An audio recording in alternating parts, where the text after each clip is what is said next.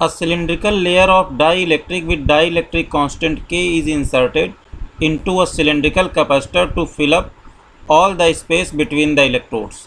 The mean radius of the electrodes equals R. The gap between them is equal to D with D is very very less than R. The constant voltage V is applied across the electrodes of the capacitor. Find the magnitude of the electric force pulling the dielectric into the capacitor. Suppose at any instant x length of the capacitor is filled with dielectric medium. So the whole system can be considered as a parallel combination of two cylindrical capacitors.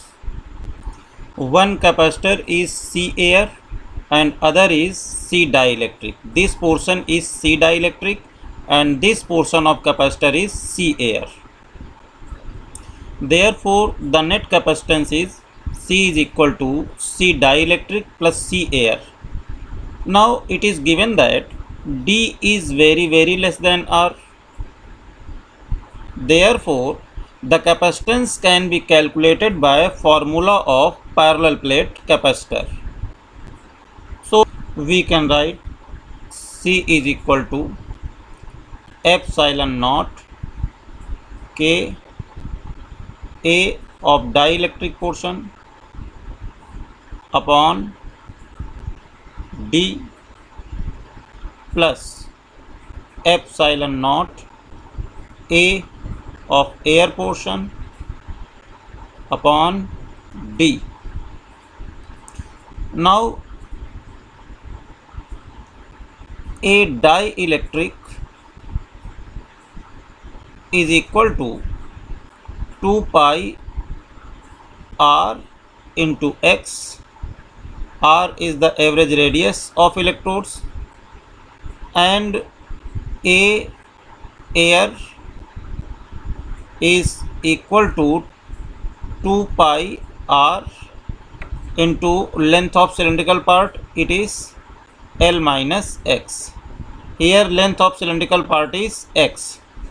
Now substituting these values in this equation 1 we get C is equal to F epsilon naught K two pi R X upon D plus F epsilon naught two pi R L minus X upon D now the energy of potential electrical potential energy of the system will be U is equal to half C V square therefore force F is equal to D U upon D X as capacitor is connected with voltage source so V is constant therefore the differentiation du upon dx will be 1 upon 2 V square as V is constant into dc upon dx because u is half cv square.